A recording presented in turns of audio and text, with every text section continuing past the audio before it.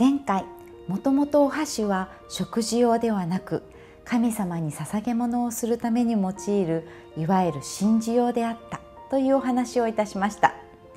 では日本人はどのように食事をしていたんでしょう？今日はその食事法をテーマに歴史のお話をしてみたいと思います。私たち日本人はもともと手食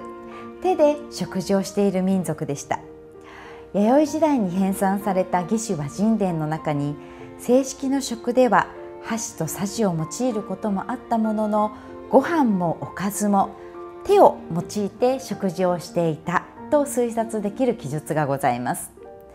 日本最古のお箸は伝飛鳥板吹の宮跡という飛鳥時代の遺跡から出土しているヒノキ材のお箸と言われています。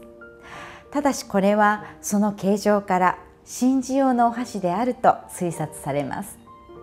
また食事用のお箸は藤原京跡から出土していて7世紀後半には銅さじ銅箸木箸木さじで食事をしていたことが明らかになっています。お箸の電波は3世紀後半から始まり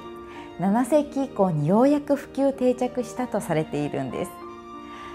当初お箸の使用はごく一握りの天皇以下の皇族や上級官人に限られていて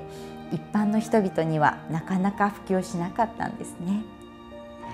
ここで注目なのがさじの存在です。私たちも現在の東アジアの諸国同様さじを使って食事をしていたんです。このさじは奈良時代後半にお箸が広く普及するのに反比例するようになくなっていきます。平安時代にはお箸が万能の食具となり始め鎌倉時代になってほとんどの人が箸とお椀を使用するようになり日本人の食事からさじが完全になくなったと言われています。ちなみに日本人がさじではなくお箸を主道具として使用するようになった理由の一節には米作や米調理の発展が挙げられています。他の国のお米と異なり日本のお米はもちもちとした粘着質の強いお米です。ですからさじでは食べづらくなり箸で食事をするようになったというものです。